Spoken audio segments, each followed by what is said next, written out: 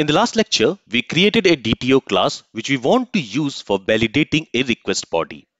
Now, in order to use a DTO class for validating a request body, we need to connect that DTO class to the route method which is going to handle that request. For example, we want to use this create user DTO class to validate the request body which we are going to receive from a post request for creating a new user. So as you can see, when we are making a post request to this user resource, with that request, we are also passing an object. And using this object, we want to create a new user. So we want to create a new user with this ID, with this name, this age, gender, and this is married property. So this data which we are going to receive in the request body, before using that data to create a user, first we want to validate the properties of this object and we want to check if it contains a valid value or not. And for that, we have created this create user DTO. Now, in order to use this create user DTO to validate the request body, we need to attach this create user DTO to this create user method because this create user method is responsible for handling a post request which is going to come here to create a new user. So you can see for this create user method what we are doing is we are reading the request body using this at body decorator and we are assigning that body to this user parameter. So when we will make this request, when I'll send this request, in the request body, we are passing this object. So this object will be read by this body decorator and that object will be assigned to this user parameter. Okay. Now, what we want is when this body decorator, when it has assigned that object, to this user parameter, before that, we want to validate that user object. Now, how can we do that? For that, we need to connect this create user DTO to this create user method.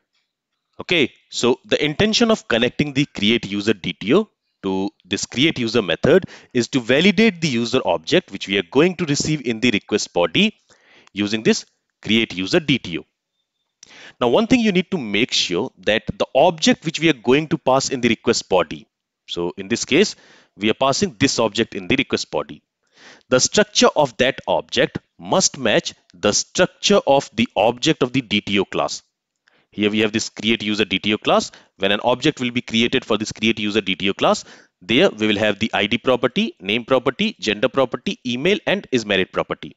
So the object which we are going to receive in the request body, the structure of that object must match the structure of the object which will be created from this create user DTO. That means it should also have this ID, name, gender, email and is married property.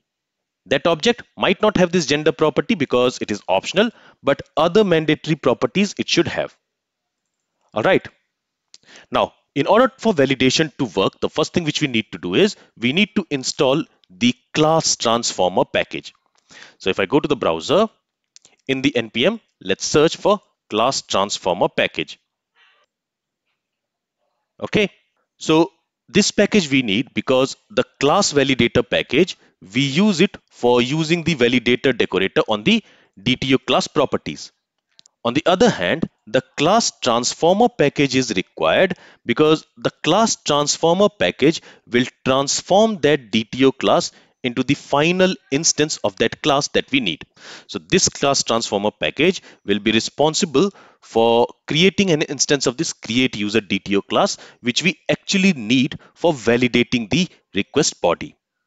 So the class validator and class transformer package go hand in hand. And that's the reason we also need to install the class transformer package as well. So for that, if you see the current version of this class transformer is 0.5.1 and this version is compatible with the class validator version 0.14.1.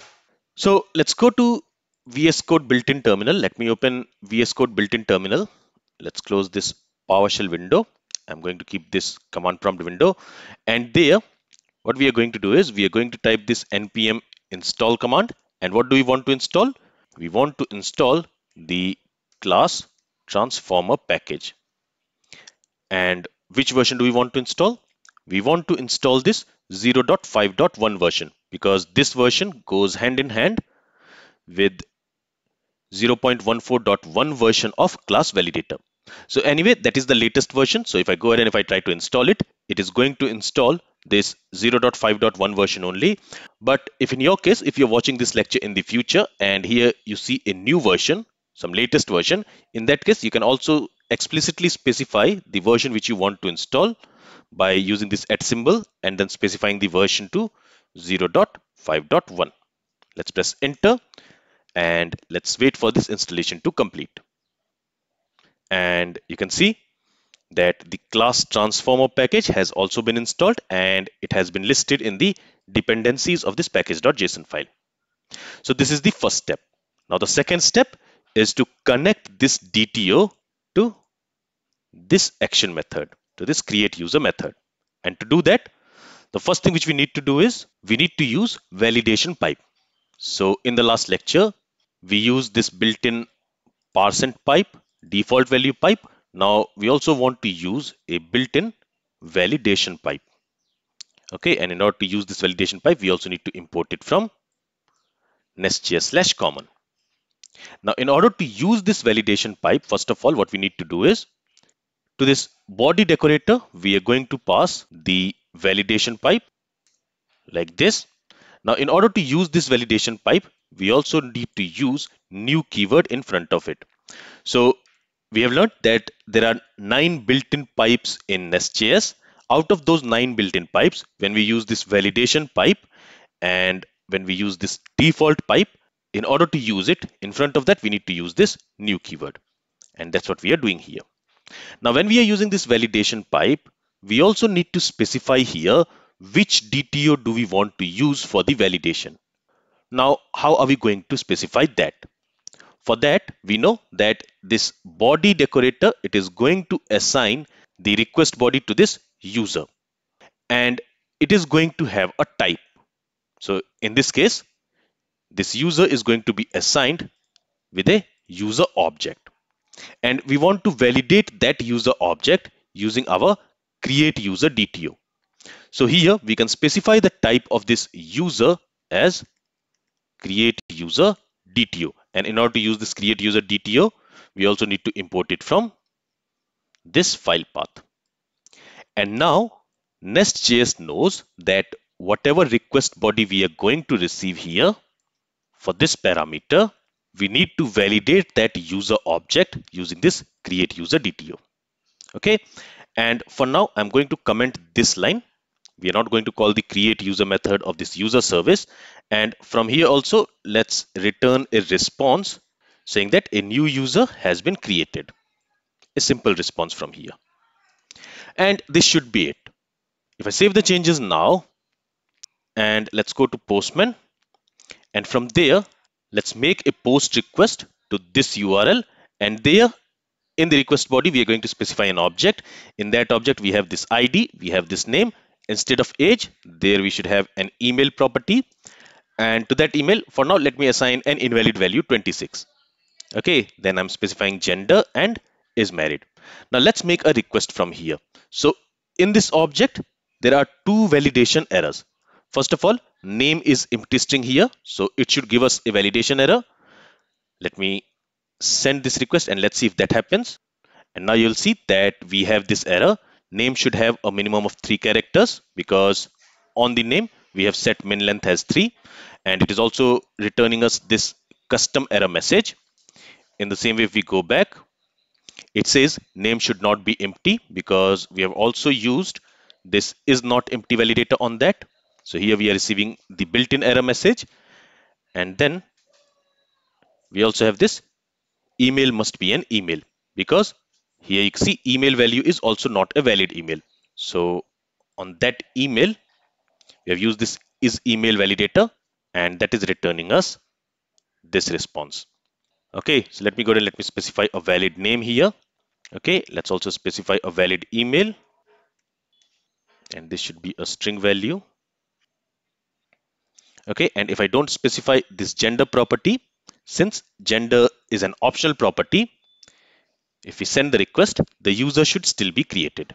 As you can see, the user has been created. We are receiving this response, a new user has been created. But if we specify the gender, in that case also, this request should be sent and a new user should be created. Okay, so we don't have any validation error message.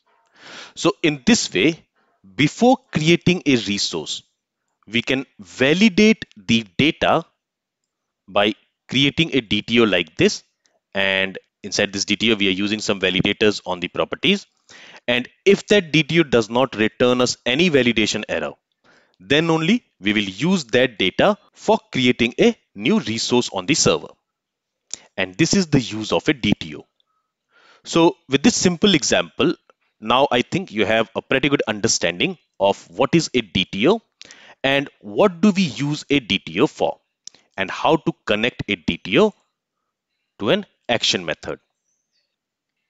So this is all from this lecture. If you have any questions from this lecture, then feel free to ask it. Thank you for listening and have a great day.